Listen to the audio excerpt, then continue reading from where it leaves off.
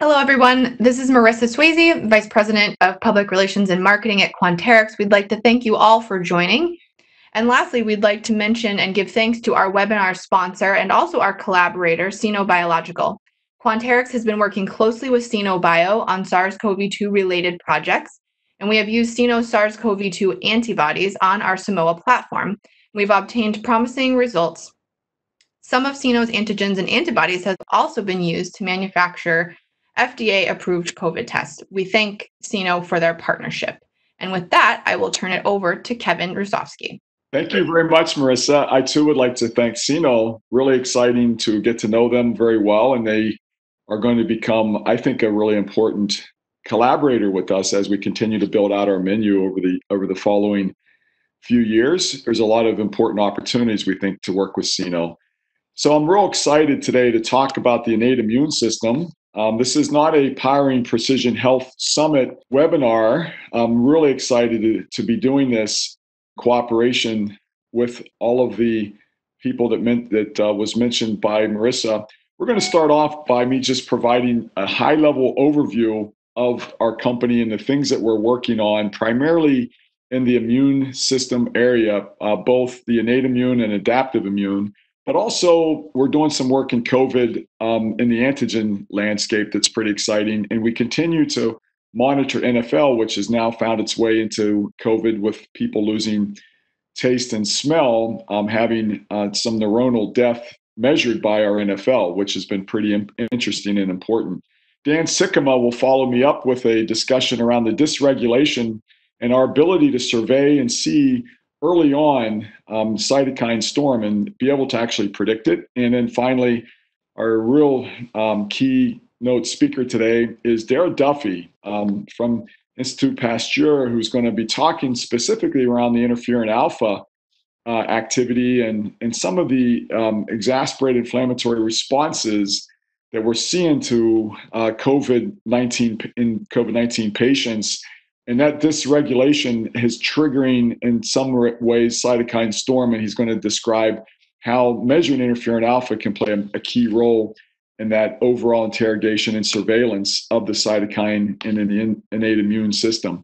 To start off we've got this exquisitely sensitive technology in quanterix which allows us to be able to see a thousand times greater the sensitivity and that sensitivity can be deployed in a lot of ways, not just looking for low abundant um, biomarkers and proteins. It can also be deployed to dilute samples to improve specificity. It can also be used to go after home care sampling, where you may be just looking at a dry blood spot. We also have been able to show a lot of quantitation um, at very low levels of um, you know quantitation. We can see the entire range and we also can multiplex and not lose a lot of sensitivity because we have so much sensitivity in the headroom. We did make an announcement three weeks ago that we've now found a way to go another 100x with our technology, this single molecule technology, which would allow us to be almost 100,000 times greater sensitivity than other technologies, which again can be deployed in these other ways um, that we mentioned, dilution being a really important one. On the right hand side, the ability to transition healthcare from seeing disease late and taking a lot of invasiveness through surgeries and, and cerebral spinal taps into early and non invasive through dry blood spots or through saliva or even venous draws, being able to see exquisite levels of these proteins that uh, translate into a lot of correlative ability to this, um, to dis- disintegrate and um, discriminate various clinical disease pathologies.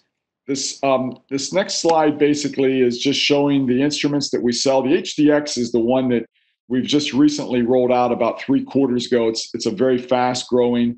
A lot of the serology assays that we're rolling out um, on the into the market is going to be done on the HDX. We can run about a thousand samples a day. Uh, the SRX is also selling very rapidly using the same bead-based technology as the HDX. It's just that it's an instrument that only does the the detection, doesn't do the sample preparation like the HDX, which is fully automated.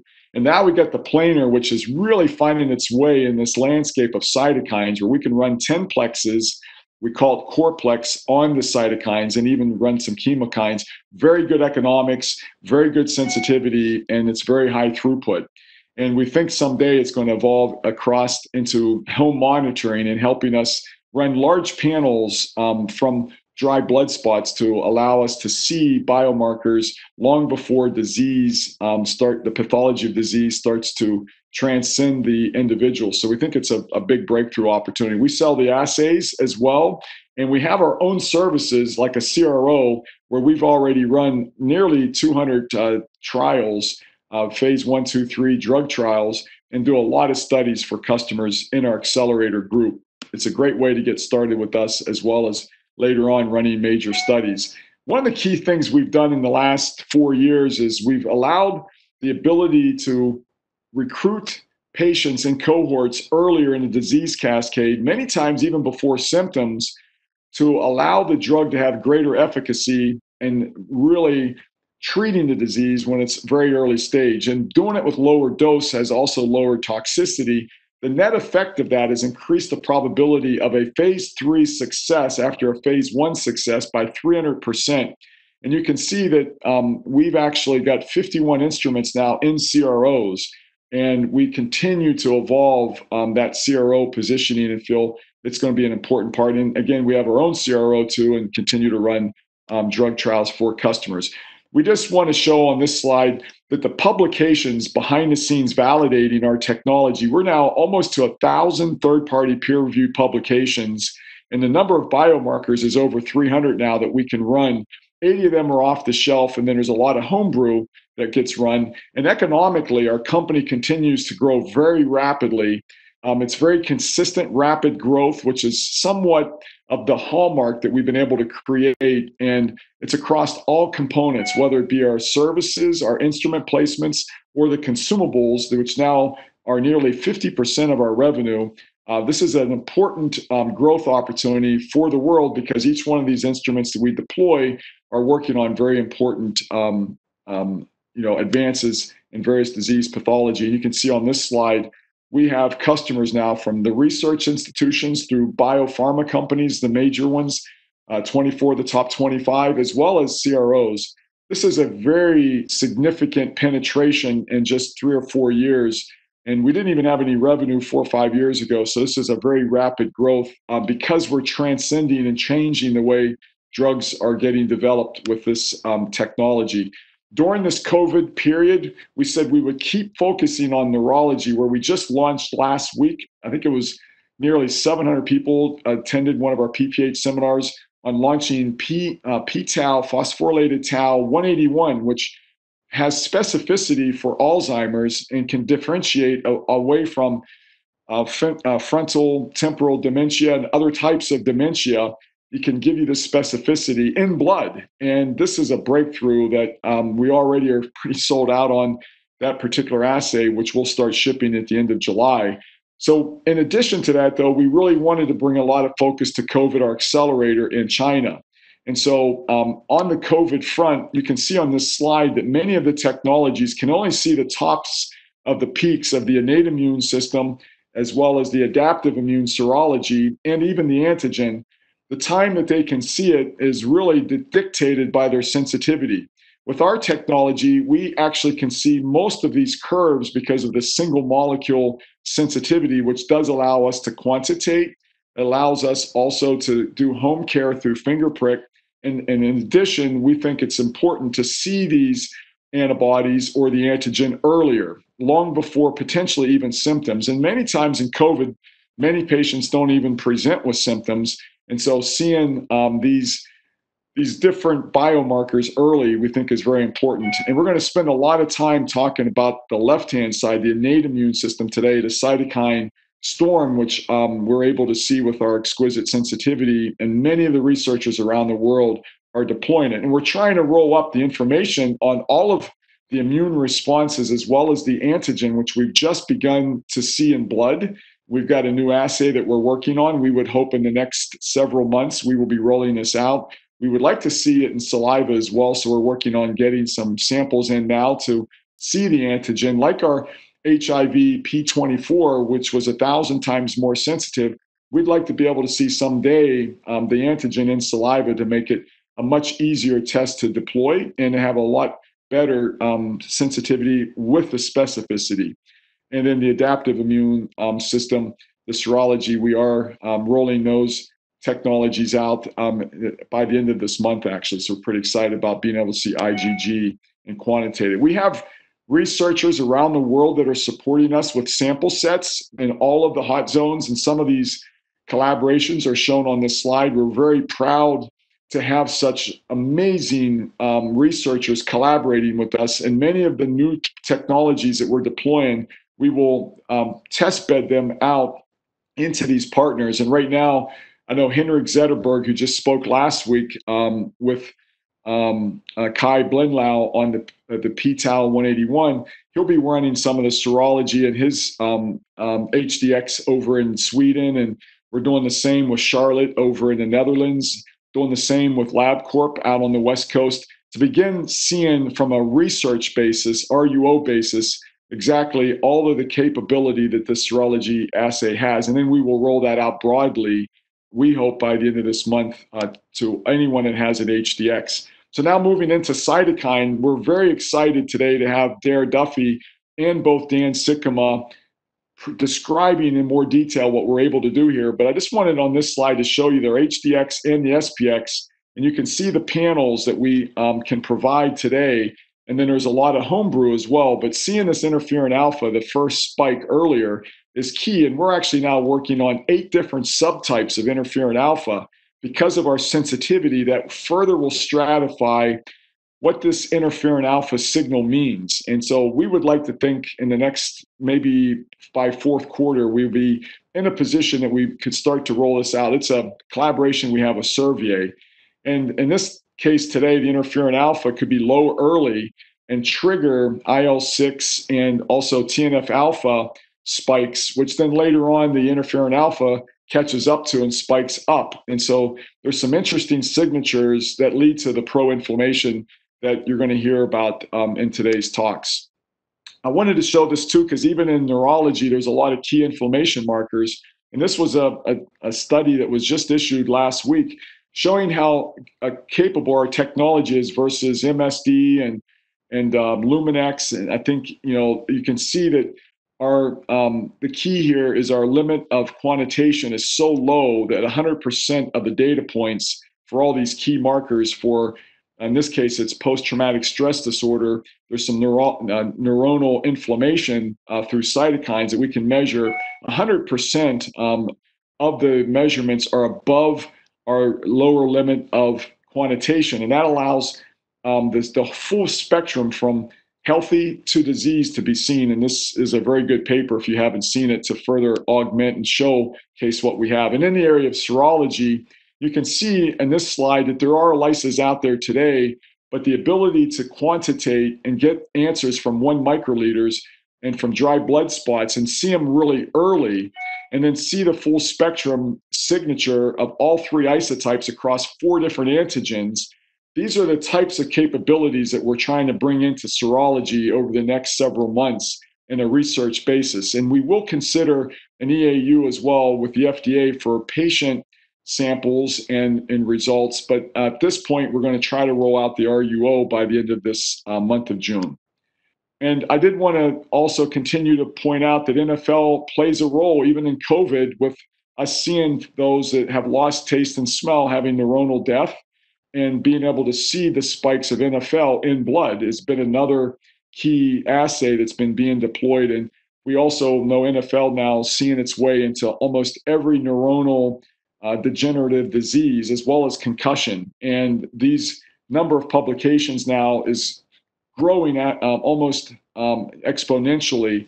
And several drugs in the area of MS have now been approved utilizing our NFL as a secondary surrogate endpoint versus the gold standard MRI. And it's a much lower cost, much faster to see the um, evidence of the disease in blood with the technology. And we are running two different um, trials. One's in analytical validity, where in 17 different sites around the world, we got great CVs across all those sites. And then on the right, clinical validity, looking at what is the NFL level when you're healthy, and then we have a, a, a, large population study that's going to establish that line, and then that will help us for showing um, MS and other diseases that go above the line.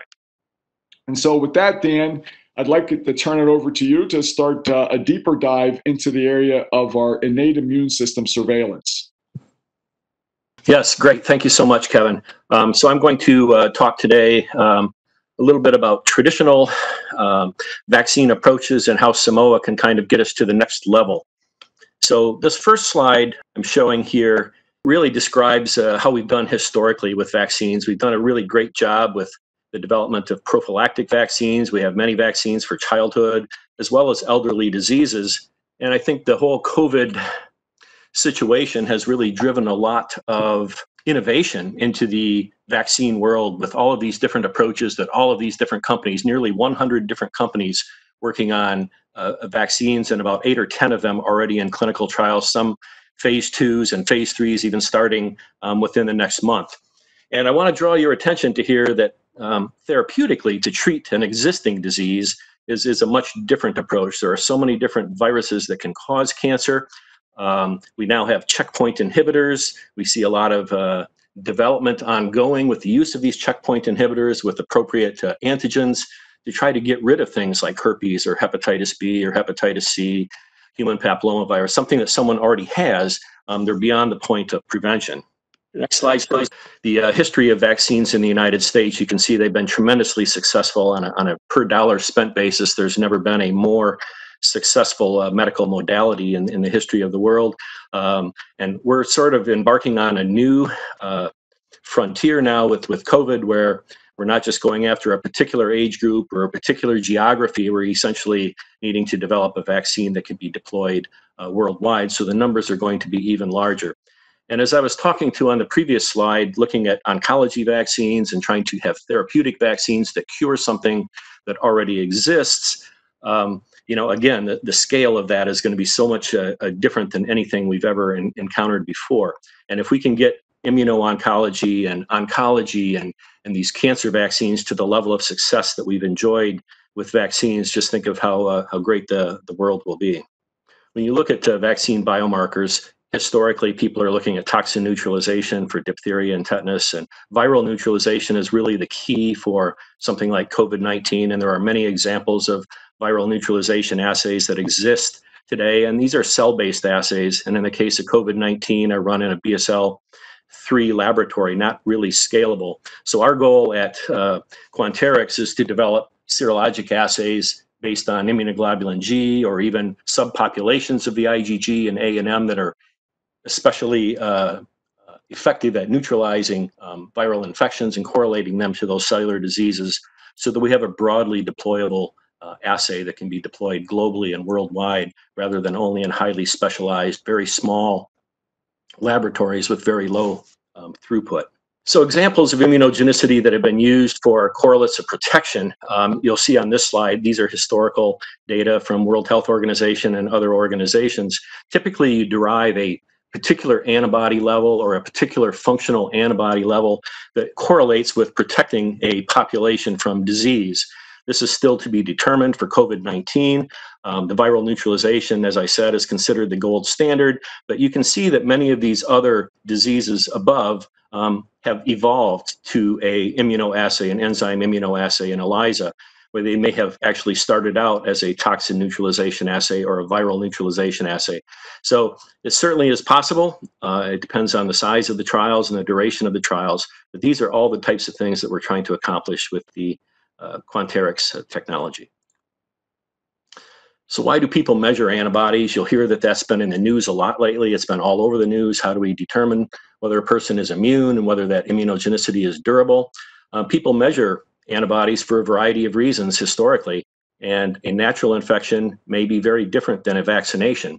Um, the natural infection is going to have antibodies against a wider variety of proteins within the virus and not just specifically those that are to the vaccine antigens. So those will be some fundamental differences. So uh, when people are enrolling their clinical trials for these vaccine studies, they're going to want to know if a person has had a prior exposure. Again, having a highly sensitive assay to determine whether a person has been previously exposed and has uh, already prepared or, or uh, antibodies against the virus.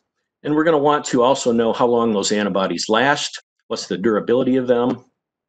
Um, there may be studies where in the elderly that they're giving the vaccine. I'll talk about that on the next slide, where they're giving flu vaccines and other vaccines at the same time. And then ultimately correlating those serum antibodies to what we call a correlate of protection. And I'm going to talk for a moment also about antibody maturity, avidity maturity, and memory, and why those are important in the vaccine world. So when you look at childhood vaccines, you can see that there's a variety of different schedules. Different countries of the world use different vaccines from different manufacturers. They give them at a different time schedule. So it gets very complicated very quickly. And then in the case of adolescents, now we have vaccines against meningococcal disease and we have vaccines against human papillomavirus. And in the elderly, as I mentioned, they may want to only go to the doctor once and get their shot for shingles or their pneumonia shot or their flu shot. So people that are doing these vaccine studies are going to have to uh, take all of these different types of things into account. It may be a standalone vaccine initially. Again, we don't know. It's too early in the process of developing the vaccines. Um, but ultimately, they would like to uh, administer these vaccines as combinations rather than uh, coming back individually for separate uh, uh, shots. And it's not just how much antibody a person makes. What's the isotype? So Kevin talked about IgG, IgA, and IgM against four different antigens. We also know that uh, with the COVID uh, infection, initially people make an IgG3 response. That's fairly unique. That's not very common in a lot of different uh, uh bacterial and viral pathogens. And over time, so people make antibodies those that first week of exposure, the antibodies change in the second week and third week and fourth week post exposure. So the antibodies mature. And functional antibodies can take even longer to develop. They can take three or four weeks to develop, or they might require several different shots.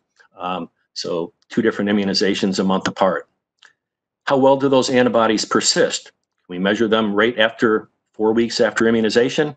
But what about three months later, six months later, 12 months later? All of these things are being accounted for in vaccine clinical trials going forward um, is their memory. If you give them a, a, another shot a year later, does it jump up very quickly or does it act as if it's a primary exposure and you're starting all over from scratch again with your immune system and it's going to take three or four weeks? And is memory fast enough? We know that the COVID infection, people say the incubation period is roughly uh, two weeks. Um, so if you can mount an immune response and memory responses typically take three to five to seven days. That's great. The example that I have here about Haemophilus B meningitis, um, from colonization in the throat to a very tragic, uh, or per perhaps even as severe as, as death to the child can occur in as short as 24 to 48 hours. So that's why we give childhood vaccines at two, four, and six months of age and another shot in the second year of life. We have to keep the threshold of the antibody levels high enough for that first two years of life while their immune system is maturing so that they don't get these really rapid onset um, meningitis type of organisms. I think we're good. It remains to be determined, but I think we're good with something like COVID to have a memory response. So even though antibody titers will go down over time, um, if a memory response is robust and sufficient, um, that should protect people against subsequent challenges from the real virus. And this is just a slide I took from New England Journal of Medicine many years ago, um, showing that a lot of different viruses and a lot of different natural exposure to viruses gives a very long-term, uh, lifelong immunity.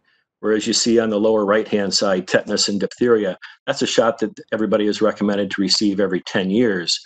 And that's because the immunogenicity to those recombinant antigens, those purified antigens, um, is not as durable as necessarily a natural infection with some of these viruses or a live virus um, vaccine. And as we're moving forward with the Quanterix technology, it's also very important that we work with regulators, and we're doing this routinely, working with FDA, Centers for Disease Control, the World Health Organization, all of these different types of organizations to engage them in this technology, educate them about the technology, differentiate technology from historical uh, means. And we've been actually invited to the FDA several times and I was astounded because the comment was, this is wonderful. Can you can you educate us on this? We always feel like we're behind in technology and people are submitting data to us on technologies that we're not familiar with.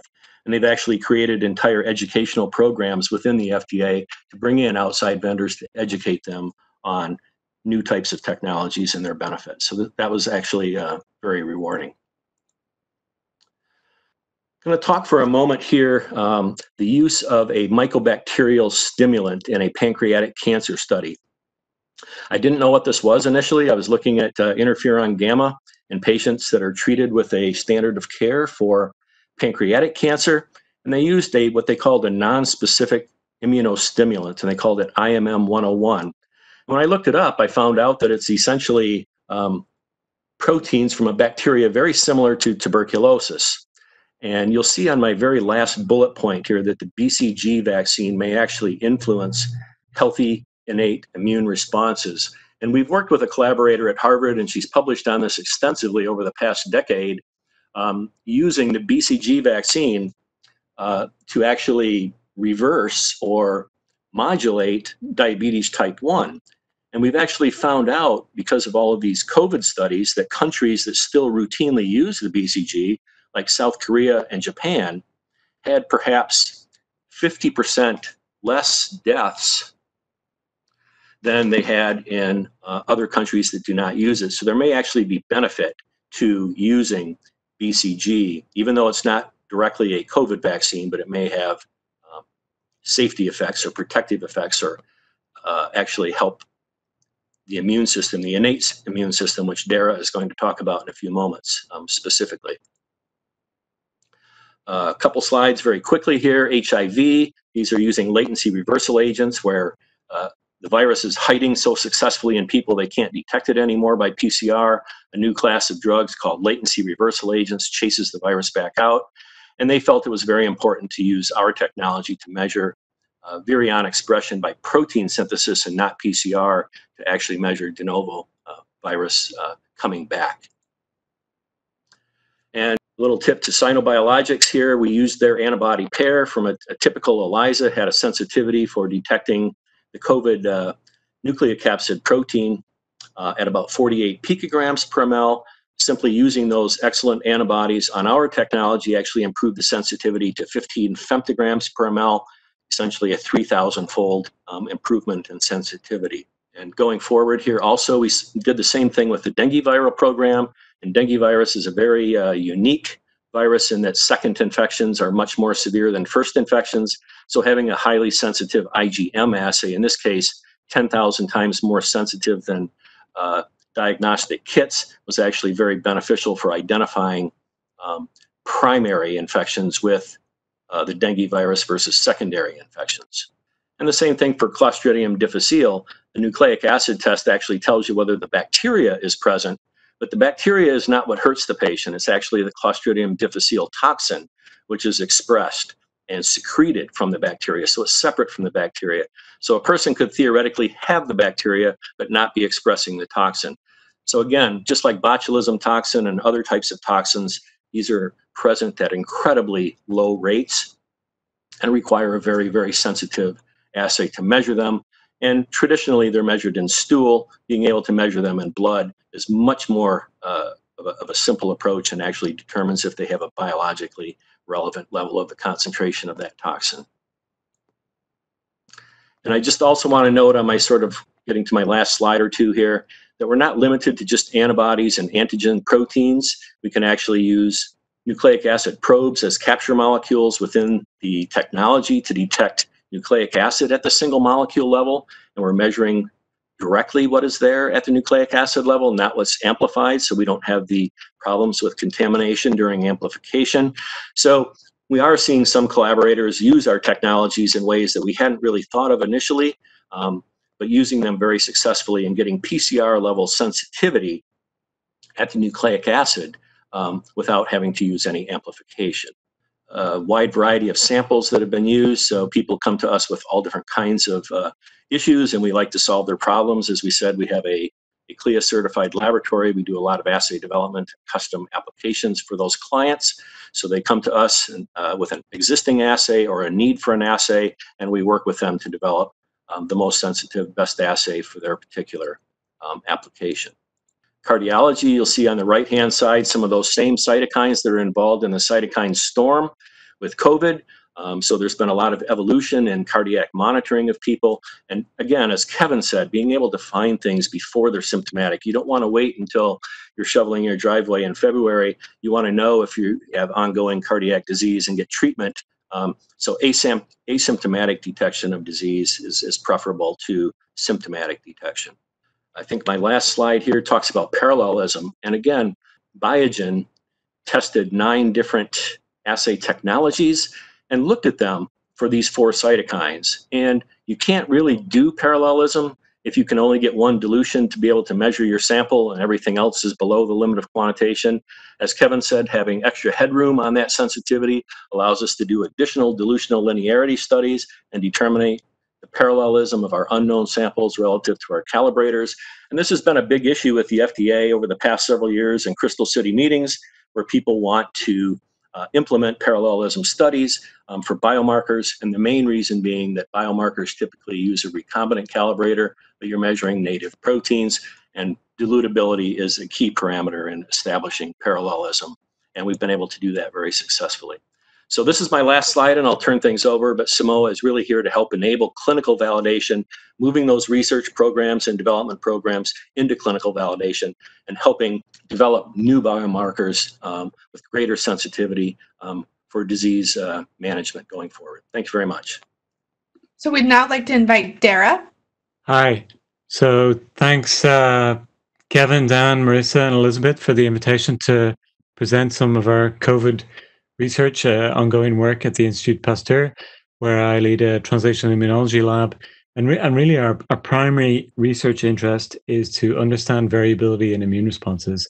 Why are two people, any two people, uh, have different immune responses and have different responses to infection? So that's really the, the fundamental basis of many of our projects. And when the COVID 19 pandemic arrived, it seemed really pertinent in terms of the, the strategies we apply to understand variability in, in immunity, in particular to infection. Um, if you think about infection with SARS-CoV-2, um, there's different outcomes. Um, there's a high percentage of asymptomatic people, so people whose immune response can clear the infection without showing any uh, major symptoms. And there was this nice uh, meta-analysis from, from Eric Topol's group at the Scripps uh, recently where they looked at a lot of these big cohort studies all around the world and really saw consistent um, high levels of asymptomatic infection between 30 and 45%. And they looked at some of the reasons for this, and this is still um, ongoing work. So it's it's um, hypotheses rather than shown, but really some of the, the prominent ideas for protection and asymptomatic infection are, are either the presence of cross-reactive coronavirus antibodies, so or cellular immunity against some of the other coronaviruses that are out there. It could be uh, due due to differences in expression of the cellular receptor for the virus, so mainly ACE, but there could be other players implicated in that that are coming out in in all of the ongoing studies that have been published uh, every every few days now. The genetics is starting to give some some interesting uh, results. There's this intriguing association with non-type A blood that's come out in a few studies, so it still needs to be confirmed that it's not due to any uh, underlying compounding factors. And one GWAS study that has reported some variability in TLR3, uh, sorry, in, in chromosome 3, um, that appears to be potentially associated with the, the receptor for the virus. But that's in terms of asymptomatic infection. What, what's what's different in individuals that um, don't succumb to severe infection but of course, more people do display symptoms, um, but still, the, the majority of people that do s- display symptoms manage to control it and have a mild or moderate infection, where the estimate numbers still a range between 45 and 65% of people infected with the virus. They could have symptoms that are, are equivalent to a severe flu with you, you know days weeks even even months of unpleasant symptoms but they don't require critical uh, medical help. Unfortunately, for those people that do, and, and here the estimate is between 5 and 10% of infection cases that go on to uh, be classified as severe or critical. This seems to occur in a, in a two wave pa- um, passive. There's initial presentation of symptoms that are mild to moderate, and then in a second wave, there's a severe worsening of, of clinical symptoms, uh, really in the, in the respiratory tract between 9 and 12 days later Uh, and, and this leads through into, into the high debt rate of uh, 0.5 to, to 1%. And some of the, the strong fact, risk factors for severity, this is pretty consistent and, and well understood now, is really old age, male sex, and high BMI. But we still don't really know how those factors are impacting uh, an individual's ability to moderate the virus or to, to go on to develop symptoms. So as immunologists, we really wanted to look at, well, what's different in, in the immune responses of, of these individuals that may lead to these different patterns. And some of the objectives we had with this approach was, can we identify biomarkers to stratify patients based on their immune response? Can we identify the key immune pathways that are required for uh, protection to the virus to, to give us clues for new therapies? And, and we just heard a lot about vaccines. Can we identify correlates of protection to guide the vaccine design and eventually uh, vaccine deployment because we still don't really have good correlates of protection uh, against uh, SARS-CoV-2. So to ask some of these questions, we established a a study at Hôpital Cochin, so with in collaboration with many different people. Uh, some of the, the key people here are listed here from Hôpital Cochin, from Pasteur and AP-HP in Paris, and Imagine Institute. Um, and this was back in, in March, the, the last two weeks of March, really at the, the beginning of the peak of, of the pandemic in France, where we managed to recruit 50 COVID patients with a mean age of 55. Uh, there was a, a, sex bias towards um, men, and, and they were harmonized over days 8 to 12 post symptoms, because that seems to be the, really the key moment for, for the, the development of severity or critical uh, disease. So all of the patients were in that eight to 12 post days post symptoms period. So we just as this is the nasal swab viral load within these individuals, just to make the point that the, the, the differences in their outcome wasn't due to differences in um, in viral load. So really, it's the ideal setup for studying what is different in the immune responses between these different categories of patients. So in its first study, we looked at um, the, the, immune responses in the blood, different technologies. So CyTOF, which is a mass cytometry-based approach where you can analyze circulating immune cells in the blood.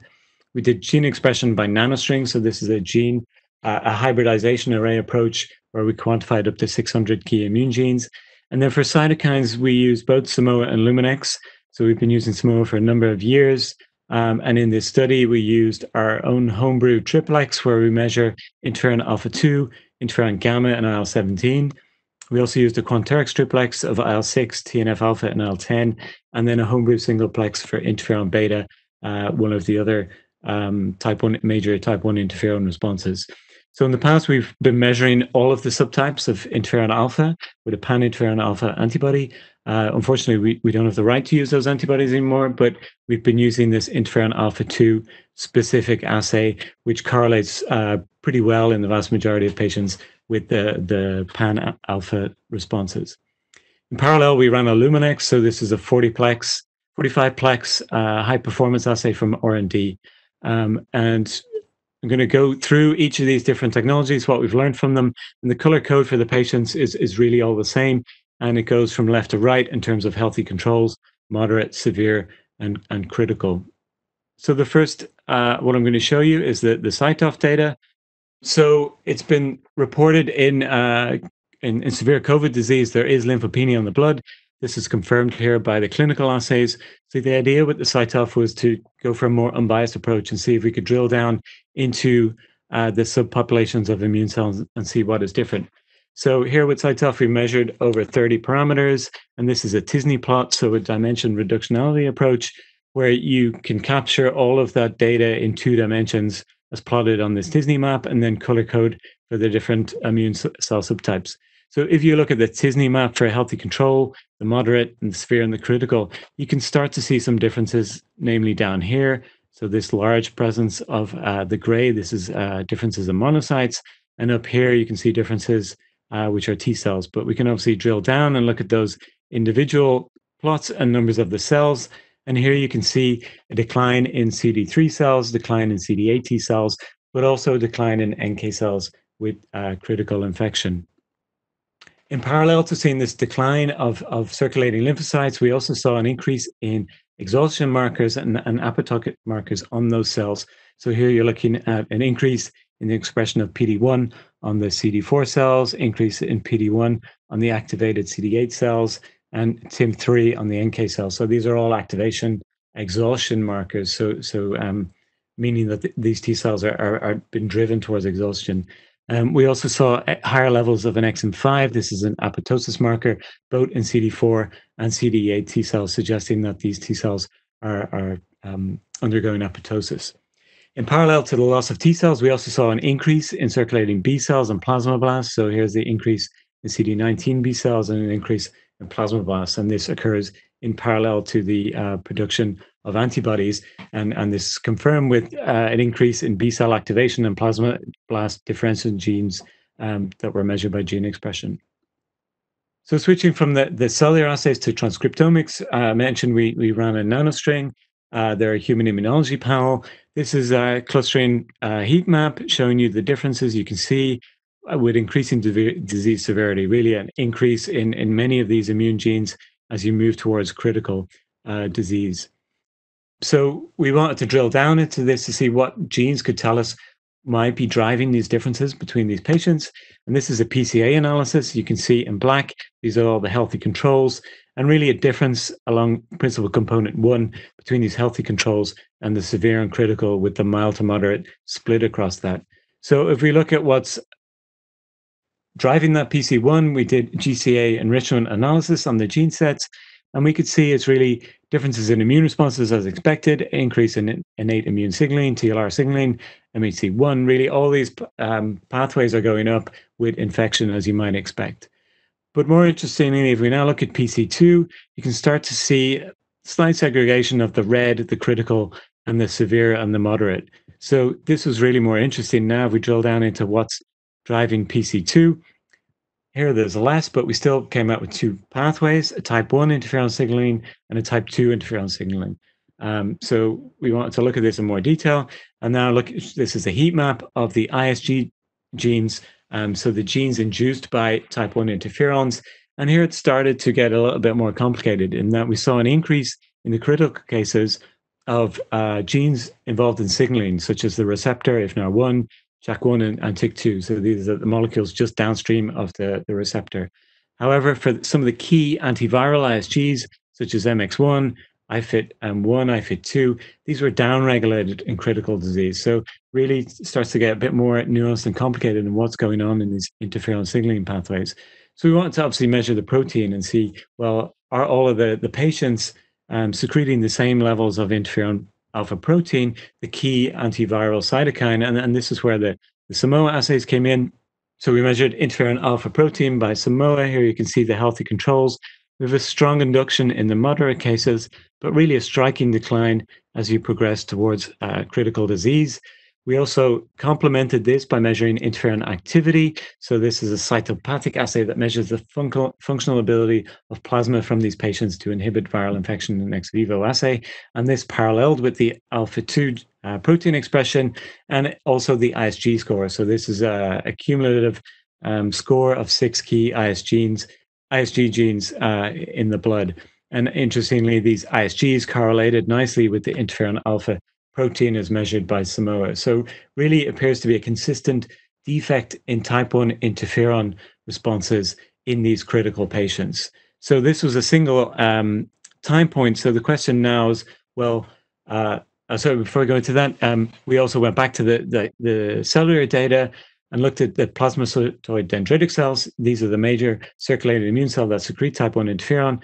And indeed, they were downregulated in uh, critical disease, and th- this correlated with the interferon alpha 2 expression. So, really, many layers of the type 1 interferon pathway seem to be dysregulated in critical uh, COVID 19 infection.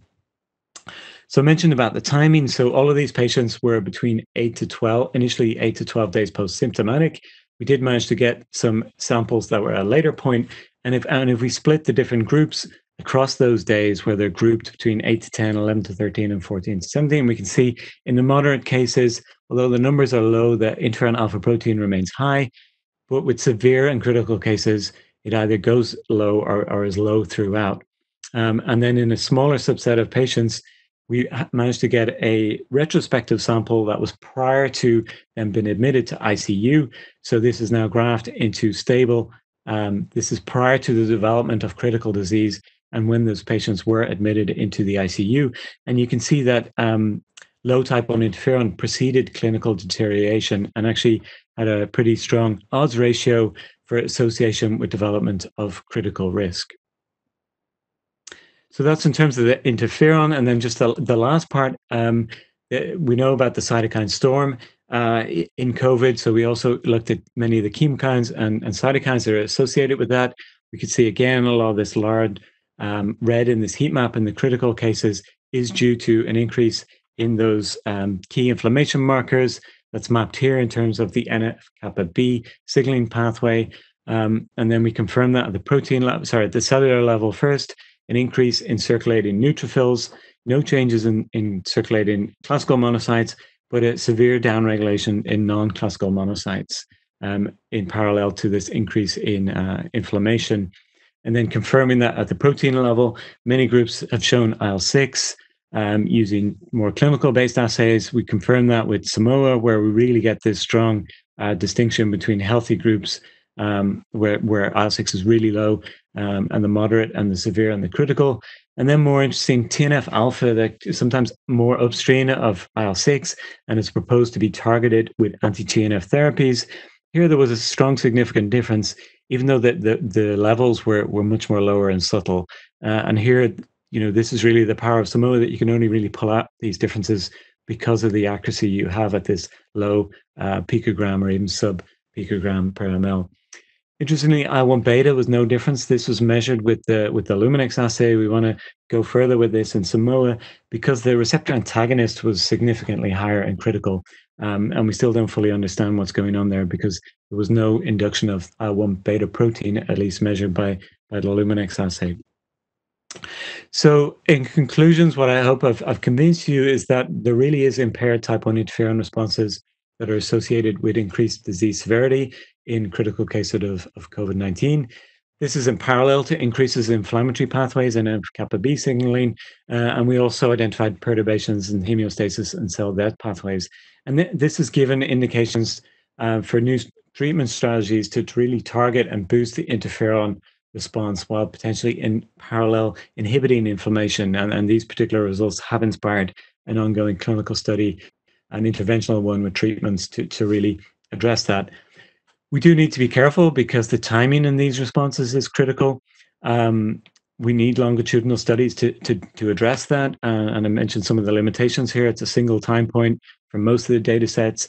It's a homogeneous patient population, and it's it's only in blood. So we are addressing that with some ongoing studies, um, working with other collaborators, um, in particular going into the nasal swabs uh, to the infected site. So working with the t- team of James Di Santo, also integrating the antibody responses, uh, working with Olivier Schwartz and Hugo Mouquet. Um, clearly, antibodies are important, in particular to understand what's good for, for a vaccine response, and extending this beyond um, a homogeneous health uh, adult population to look in pediatric patients and elderly patients um, where there's both less and more severe cases of infection. And then going further in these um, perturbed immune responses, looking at the stimulated immune response, working with teams at Trinity College Dublin um, to really see in, in more depth how these uh, type 1 interferon and inflammatory responses are perturbed by stimulating the, the, the response of these patients. So I'm going to stop there with the key last slide of many, many people involved in this. Um, I listed all the, the co-authors on this preprint. It's currently in peer review, so we hope it will be published soon um, and also for some of the ongoing work with uh, the, the different teams at Pasteur. And I've highlighted in bold uh, the individuals at Pasteur that are working with me and my team um, uh, to, to enable this study. And of course, the financing from the French ANR, the Institut Pasteur, and, and the LabEx Million Consortium, uh, which I'm co coordinating at Pasteur. So I'll stop there and happy to take any questions and, and join in the discussion. Thank you very much, Darragh. I um, thought it might be good if you could look through the questions in the chat room because I don't think we're going to get live verbal questions. And while you're looking through those, I will answer a couple that um, I could see that would be more directed towards me.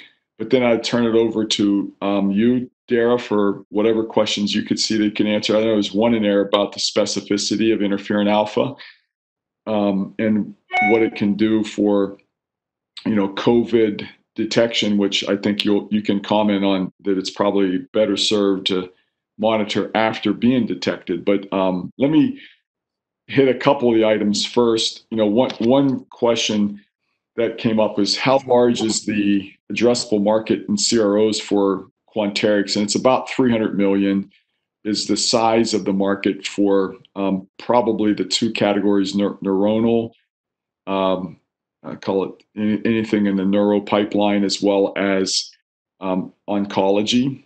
The second question that was of interest was do we have anything going on in South America and also India? And we do have a distributor in India and we're working on South America, but our collaborations are fairly minimal at this time. So we'd love to build those up and further go after that with our Powering Precision Health collaborative um, assessments.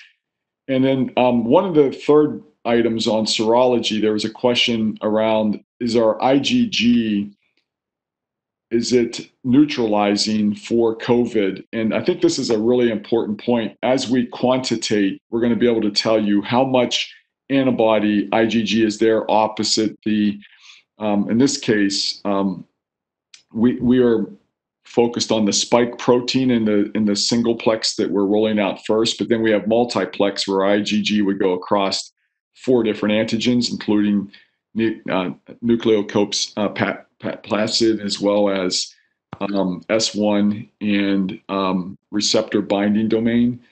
So those are four other antigens that we can measure IgG against. But this question of neutralization, we are teaming up with a CRO that has a great neutralization assay that they've uh, been able to really hone in on um, some convalescent samples and create a lot of correlative um, assessment on their their neutralization assay. It's a cell-based assay, and what we'd like to do is calibrate our IgG versus spike, which we do think is going to be protective and um, should be neutralizing.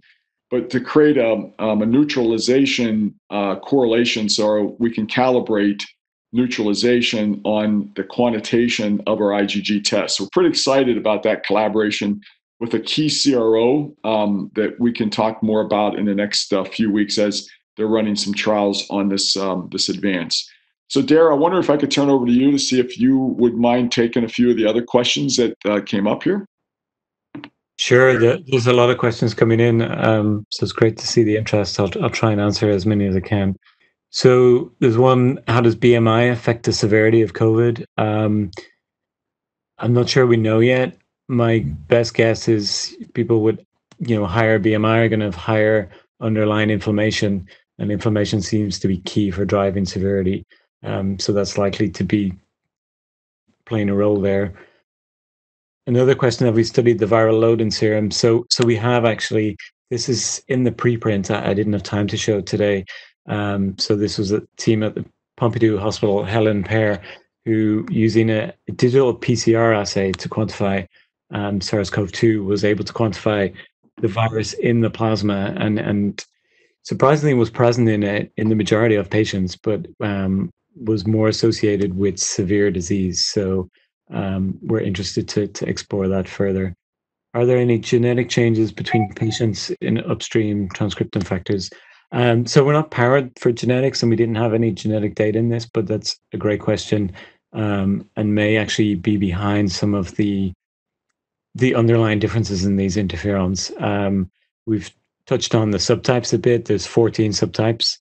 Um, interferon alpha subtypes. We're just measuring alpha 2 with this assay, but they've been shown to, to be pretty diverse at the genetic level.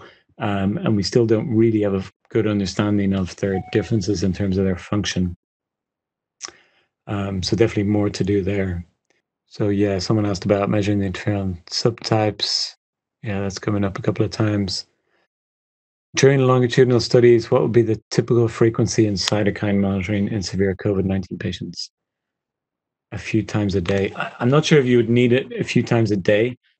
You know, daily will be great already. I think you would you would start to see the severe changes. Um, we heard earlier, you know, you can go two weeks without symptoms, mild to moderate at the beginning, and and there's really appears to be a key window where something happens between the host and the virus, um, and that you know, would speculate is maybe between four to to ten days. So I think that's really the window to focus in. That we really need to to understand what's what's going on and what's different between the patients that are developing severe symptoms. And, and I'm sure those studies are, are going on.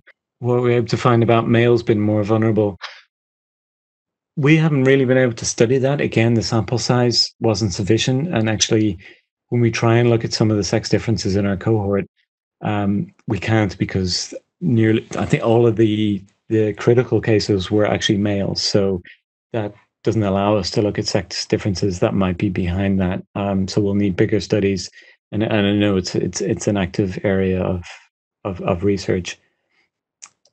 Darragh, one one question I see here is how quickly do you see the interferon alpha spike after infection? I was curious what your views might be on that. So again, the earliest we looked was you know day post symptoms. Normally, type one interferon comes up really quickly after infection in the first few days. We don't know yet if that's the case because the one of the challenges with COVID and why it's spreading so widely is is the symptoms don't appear often for two weeks. Yep. So, um, you know, getting hold of those samples, um, SMO is a great approach to be able to address those questions. But but getting that samples, it, we we need to do retrospective sampling um, of people that were exposed and later turned out to to have infections. So so we're looking to try and find those cohorts. So, but, Darren, one thing we're doing is we're running a population study over 10 weeks, and we're running it in areas where there's still new cases coming in. Mm-hmm. And we're going to be monitoring blood dry spots um, across 10,000 people uh, each week for 10 weeks. And so I do think we're going to find some sample sets that will be pre symptomatic as well as asymptomatic. Um, that should be interesting to then run some of you know your interferon alpha on and see kind of what we can learn yeah the, uh, those those powers are going to be really powerful um, so it's great that you, you're able to get get some of those studies up and running um, you know the, the pandemic's more or less under control in france so there, there isn't so many cases anymore which is great but um, you know that's not the case everywhere in the world so the focus needs to move to to those areas where where the, unfortunately those those those cases still are occurring in, in high frequency. I, I apologize. I do think we're out of time, Darragh and Dan. I think that you know you guys did an incredible job helping see into this area um, of cytokines, and we are, as you know, they're working with Servier to try to further build out the subtypes of interferon alpha so that that can be measured too on. Yep. And we cannot cannot thank you enough for the work you're doing patients around the world are desperately searching for understanding of the immune system. And I think there'll be a lot of um, immunity fatigue that's going to occur post. There's a lot of surveillance going on um, around what this all might mean, you know, the next couple years too. So, thank you so much for um, sharing this with us today. And we'll be probably trying to get more questions to Darragh and, and Dan, and then get answers out to everybody that attended we really want to thank you very much for uh, attending this session. Thank you.